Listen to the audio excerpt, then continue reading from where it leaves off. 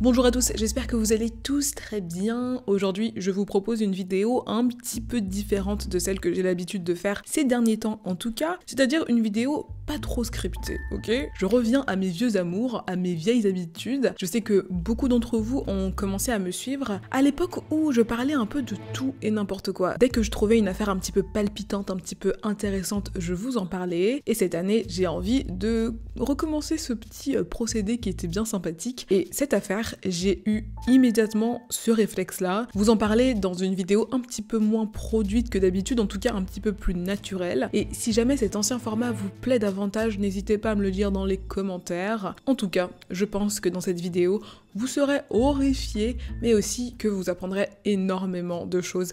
Personnellement, en faisant les recherches, j'ai appris beaucoup, beaucoup, beaucoup de choses et j'ai pu recueillir beaucoup d'informations qui vous permettront de comprendre un petit peu mieux les tenants et les aboutissants de cette histoire et le contexte socio-culturel. Bref, on ne perd pas de temps, on va se lancer dans cette vidéo, installez-vous bien confortablement avec votre petit thé, un petit repas, peu importe, prenez quelque chose à manger et quelque chose à boire comme je le disais si bien avant, et let's go to the video.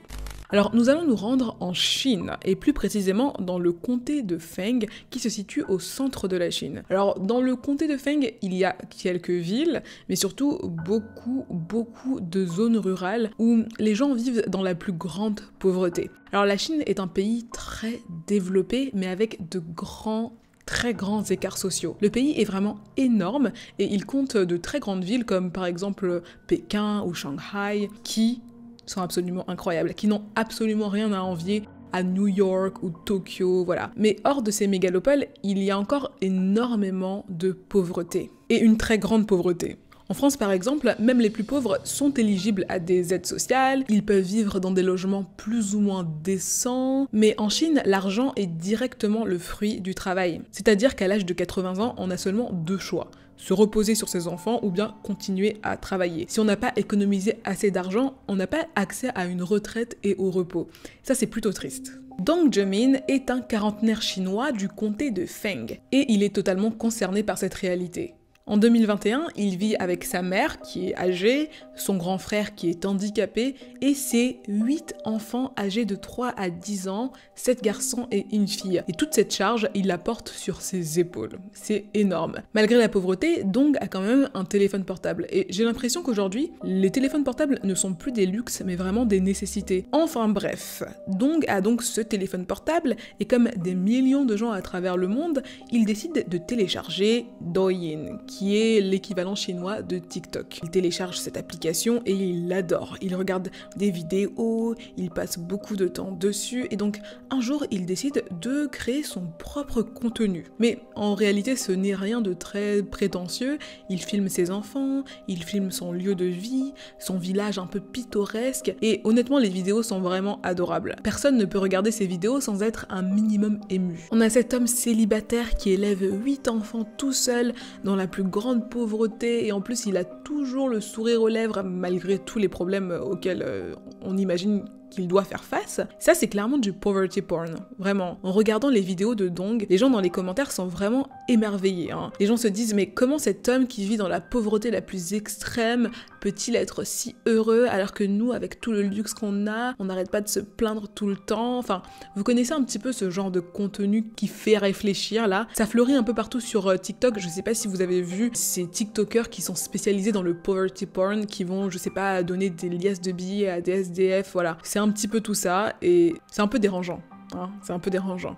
En tout cas, le compte TikTok de Dong devient de plus en plus populaire. Les commentaires de sa communauté sont vraiment très encourageants et il gagne vraiment beaucoup d'abonnés et en très très peu de temps. Petit à petit, une sorte de réaction en chaîne se crée. Beaucoup de TikTokers commencent à envoyer leur soutien à Dong, ils incitent leur communauté à lui faire des dons, à s'abonner à son compte TikTok, mais pas que. La communauté TikTok est tellement généreuse avec lui que, en l'espace de quelques semaines, Dong reçoit de l'argent mais aussi des vêtements pour ses enfants et le nécessaire bah, pour qu'il puisse vivre une vie un petit peu plus douce, un petit peu plus confortable. Plus son histoire se fait connaître, plus le soutien est massif. Quelques grands créateurs de la plateforme vont même commencer à lui rendre visite dans sa petite maison délabrée et il filme vraiment tout. Alors les internautes s'émeuvent encore plus hein, quand ils découvrent les conditions de vie de Dong. Il vit dans le froid, dans la saleté et ses enfants risquent tous les jours de tomber malades. On ne peut pas parler d'une maison. Hein. C'est vraiment juste une bâtisse en, briques. Il n'y a pas de carrelage, il n'y a pas d'eau courante ni de chauffage. Voilà quoi, vous voyez un petit peu le, le, portrait. Donc maîtrise de mieux en mieux la plateforme en tout cas et il est vraiment très étonné de tout le soutien qu'il a pu recevoir. Mais aussi Bien sûr, il en est ravi. Bien sûr, ça nourrit son ego. Alors, il commence à faire des live streams pour interagir avec ses fans et ses fans lui posent toutes sortes de questions. Par exemple, bah, il lui demande les prénoms de ses enfants. Et ça, c'est assez surprenant, hein. Mais les enfants de Dong ont tous des prénoms allant de trésorerie à Hong Kong. Et apparemment, c'est quelque chose d'assez commun dans la Chine rurale où les gens sont peu éduqués. En fait, Dong a donné à ses enfants ces prénoms afin qu'ils puissent être riche, afin qu'il puisse attirer la richesse. Mais une question revenait très souvent à cette époque-là, donc où est votre femme? Pourquoi avez-vous été amené à élever 8 enfants tout seul. Les gens avaient vraiment envie d'en savoir plus sur l'histoire de sa vie qui était déjà assez tragique. Hein. Alors un jour, il a tout expliqué. Alors vous savez, euh, moi je n'ai pas eu beaucoup de chance en amour, j'ai vraiment eu du mal à, trouver l'amour, à trouver une femme, et ça c'est très mal vu en Chine. Donc quand j'ai enfin trouvé une femme à un âge qui était plutôt avancé, on n'a pas perdu de temps, hein. on a fait beaucoup d'enfants en très peu de temps, mais à chaque fois, donc ne s'étalait pas sur la question de sa femme. Il disait toujours, euh, bon, euh, c'est une femme extraordinaire, c'est le héros de cette histoire, mais il n'entrait jamais, jamais dans les détails. Mais avec le temps, les gens ont arrêté de poser la question. Tout simplement, ils se disaient, il vaut mieux ne pas remuer le couteau dans la plaie. Pendant ce temps, Dong continue à poster des vidéos, des TikTok et à recevoir des TikTokers plus ou moins connus à son domicile. Un jour, un vlogueur qu'on va appeler Wang décide de visiter lui aussi la petite famille, avec pour objectif de filmer leurs conditions de vie et de recueillir un maximum de dons pour eux. Alors, il arrive tout heureux de rencontrer enfin l'homme dont tout le monde parle. Hein. Il fait le tour de la maison, il fait le tour de la propriété carrément, hein, en filmant avec la caméra de son téléphone. Et la maison n'a pas beaucoup changé depuis que Dong a commencé euh, à faire des vidéos sur TikTok. On aurait pu penser qu'avec tous les dons reçus, il aurait pu faire des travaux pour rendre le lieu un petit peu plus confortable, mais ce n'est pas le cas. Mais bon, ça ce n'est pas le plus choquant. En sortant dans la cour, Wang aperçoit une sorte de petite bâtisse. En France, on appellerait ça une cabane à outils ou un hangar, voilà. C'est une petite pièce à l'extérieur de la maison. Il n'y a pas de porte pour sécuriser l'endroit. On peut voir directement à l'intérieur. Et c'est comme ça que Wang tombe nez à nez avec une femme. Elle semble vraiment vivre dans ce hangar. Elle n'est clairement pas assez habillée pour la température qu'il fait. Dong et les enfants, eux, portent de très gros manteaux, mais cette femme a juste un pull sur les épaules. 不冷，我给你拿个衣服穿上吧。我给你拿个衣服穿上吧。我给你拿个衣服去，好不好？我给你拿件衣服。我看你咱有爱心人士捐助的衣服，我给你拿一件。你你这饭凉了吗？你能不能我这样说话，你能不能听懂？姑，我跟你说话能听懂吧？不能。是不是？是不是能听懂一点点？我跟你说。不能是吧？Comme vous avez pu le voir, la femme est enchaînée par le cou comme un animal. Et surtout, son chinois n'est pas très clair. Soit elle a des problèmes mentaux, soit elle n'a plus l'habitude de parler avec des gens et donc son langage s'est détérioré. Dans tous les cas, elle n'est pas du tout à sa place dans ce hangar, elle ne devrait pas du tout être là. Le vlogueur réalise que quelque chose de pas net se trame sur cette propriété. Et Wang ne perd pas de temps. Le 28 janvier 2022, il poste la vidéo sur Douyin et elle explose. Elle génère environ 1,82 milliard de clics sur différents réseaux sociaux. Enfin bref, tout le monde en parle. Et ce n'est pas étonnant. En fait, l'engouement autour de Dong était tel que cette vidéo est ressentie comme une trahison. Les internautes s'enflamment. Ils demandent mais qu'est-ce qu'il a fait de l'argent de nos dons? Il peut pas prendre soin de cette femme, qu'est-ce qui se passe? Et d'autres personnes se questionnent sur l'identité de la femme. Qui est-elle? Pourquoi vit-elle dans ce hangar sur la propriété et pas avec toute la famille? Se pourrait-il que le papa parfait, adoré de tous, cache une face un peu plus sombre? L'affaire devient le sujet de discussion numéro 1 sur Douyin, sur internet en général, hein. et les fans de Dong veulent des explications. Autant vous dire que Dong n'a pas une super équipe de relations publiques, hein, comme certains influenceurs français, mais il aurait pu utiliser les dons pour s'en payer une. Il aurait même dû le faire, car sa réponse, vous allez le voir, est très peu convaincante. Il explique que la femme sur la vidéo est sa femme et la mère de ses huit enfants, qu'elle aurait une maladie mentale qui la rendrait très violente envers les enfants mais aussi envers sa mère, et que pour la protéger, il aurait décidé de l'enchaîner. Mais il explique également que il ne l'enchaînerait que pendant ses crises, que le reste du temps elle serait libre. Le jour de la diffusion de la vidéo, les autorités du comté de Feng ont même fait une déclaration qui confirmait les dires de Dong. Ils déclaraient que le nom de famille de la femme était Yang, qu'elle était attachée en raison de ses crises et qu'elle avait épousé Dong en 1998. Dans certains pays d'Asie, les problèmes de santé mentaux sont un petit peu négligés, voire beaucoup, et pour une famille si pauvre, l'accès aux soins aurait été vraiment encore plus difficile. Mais d'autres fans pensent qu'il y a encore anguille sous roche. Ils se posent pas mal de questions. Par exemple, depuis quand Yang est-elle malade?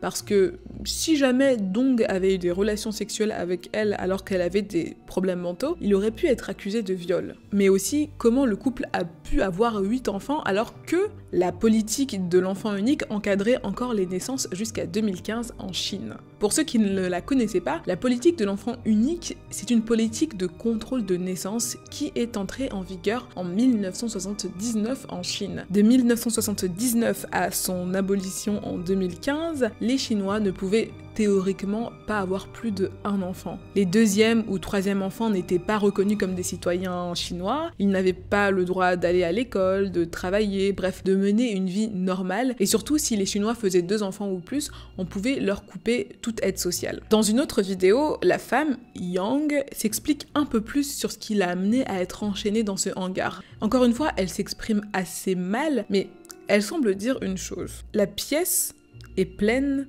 de violeurs.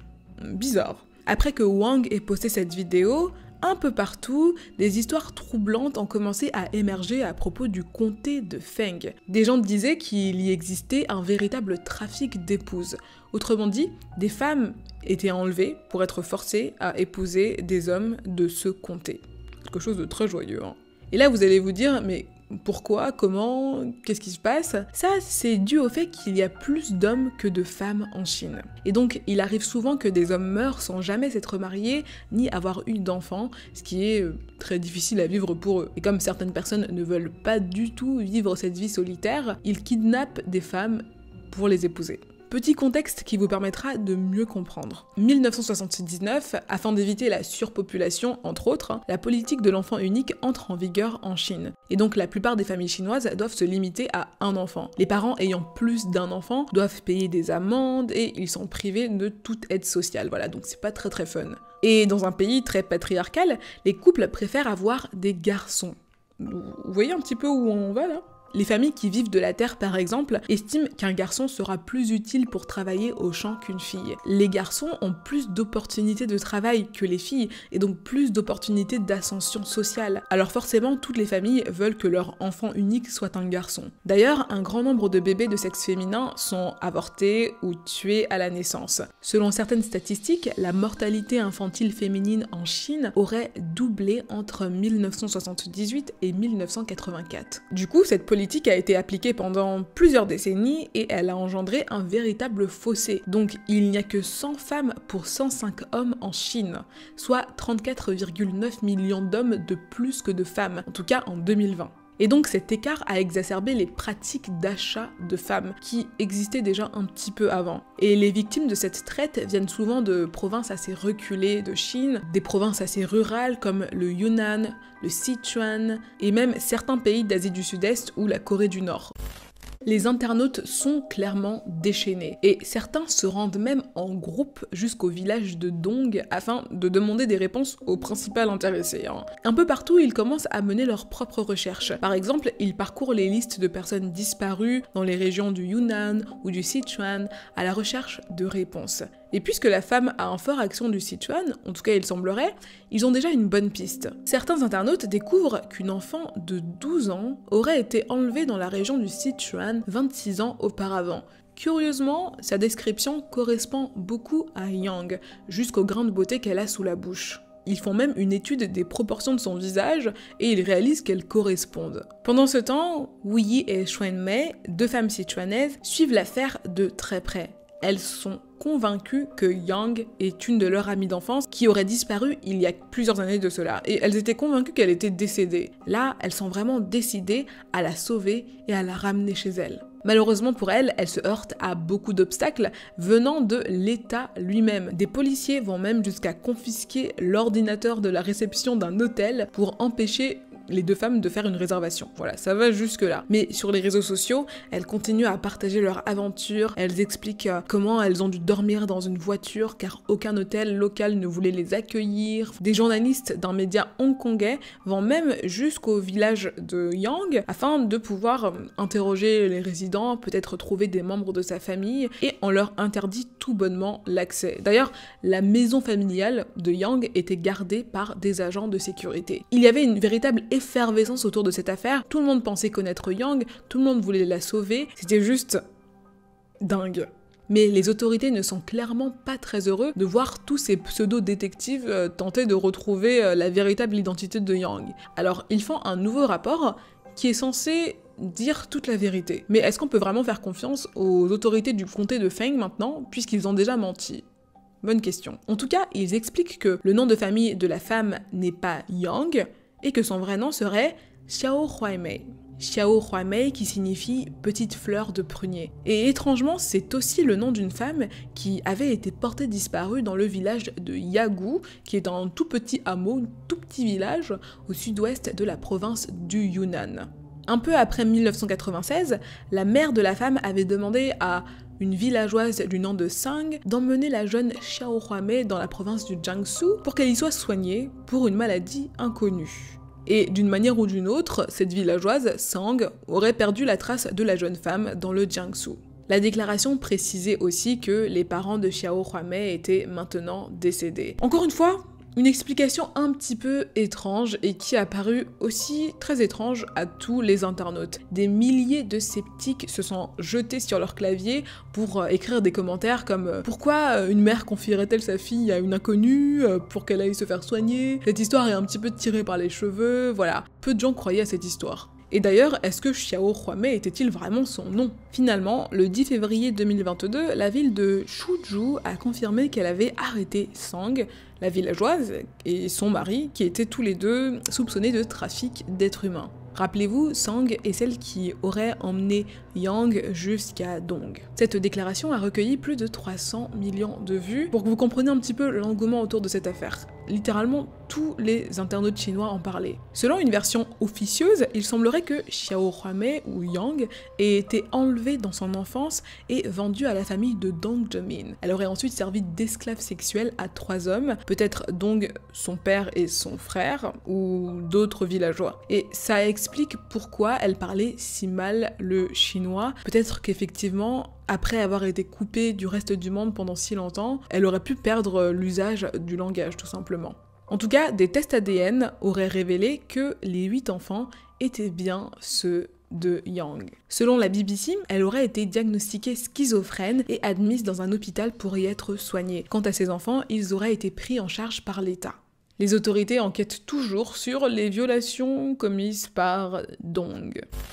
Alors pourquoi la traite des êtres humains persiste en Chine?